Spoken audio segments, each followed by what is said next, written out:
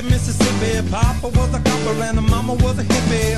In Alabama, she was swinging a hammer. Price you gotta pay when you break the panorama. She never knew that there was any.